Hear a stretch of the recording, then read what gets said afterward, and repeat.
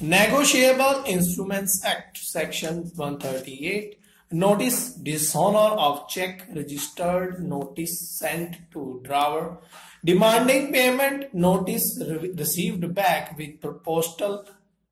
endorsement. Note claimed returned to sender stop no ground to quash proceedings under sections 482 CRPC on the ground that there was no service of notice stop what is the purport of endorsement made on the latter are questions of fact which have to be gone into during trial stop.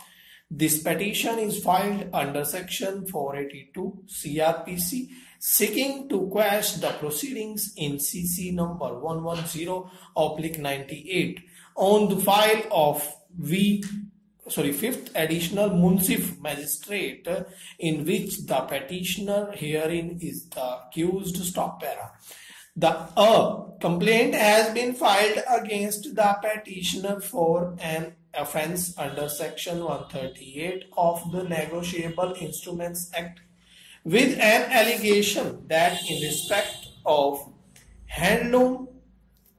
Obtained by the accused, he had issued a check in favor of the complainant respondent number 2, herein which bounced stop a uh, notice as per the complainant has been sent to the accused,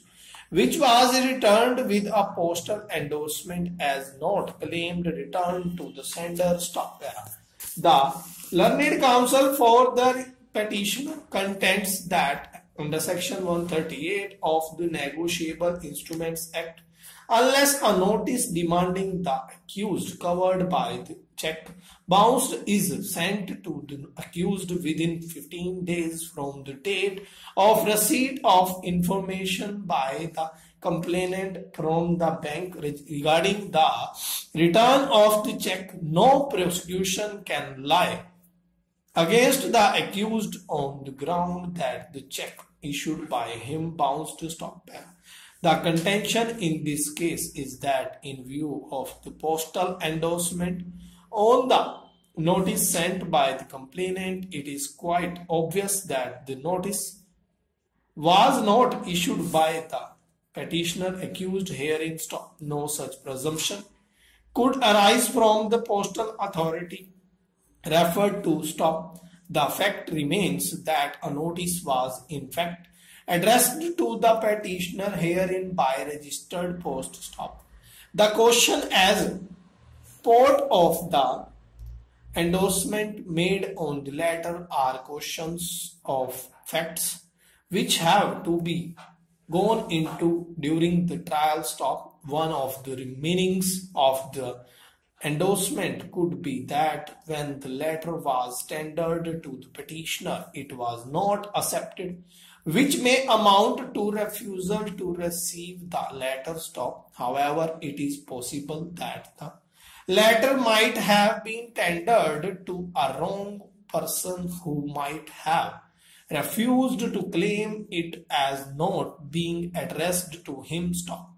Whether the return of the post cover was for either of these seasons is a matter of inquiry and a question of fact stopper. Under these circumstances, as this is the only ground on which the